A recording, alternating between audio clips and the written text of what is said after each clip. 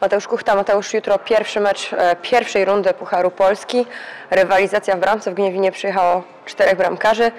Jest nadzieja w Tobie, że jutro to Ty rozpoczniesz mecz w wyjściowym składzie?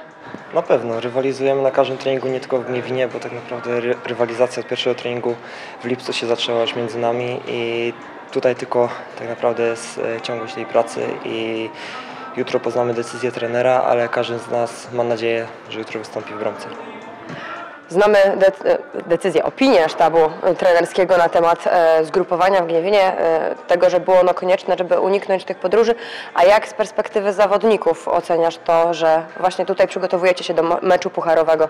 Na pewno, patrząc na, na regenerację, to, to bardzo dobra decyzja, bo uniknęliśmy tak naprawdę podróży 8-godzinnej z Gdańska do Lubina, więc e, mam nadzieję, że jutro to się przełoży na wynik spotkania i na naszą grę i będzie to widoczne, że mieliśmy większą, większą, e, większy czas na regenerację.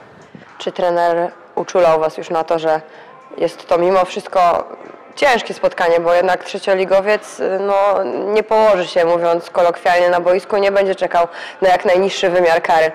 No tak, wiadomo, że dla nich e, to jest gdzieś tam swojego rodzaju święto i przyjeżdża klub z Ekstraklasy i będą, zrobią wszystko, żeby to spotkanie wygrać i takie mecze są zdra- zdra- zdradliwe i musimy podejść do tego bardzo skoncentrowani i po prostu wykonać swoją pracę i ten mecz wygrać.